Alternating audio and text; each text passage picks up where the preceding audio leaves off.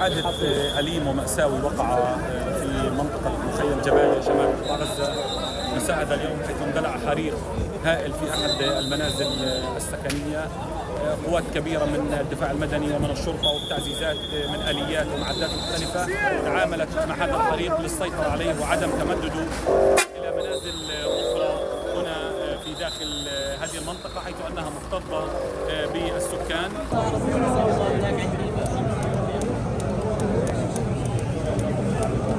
قوات الدفاع المدني انتشلت 21 جثة وتم إخلاءها من داخل المنزل إلى مستشفى الأندونيسي ولا زالت طواقم الأدلة الجنائية والشرطة والدفاع المدني تواصل تحقيقاتها في هذا الحادث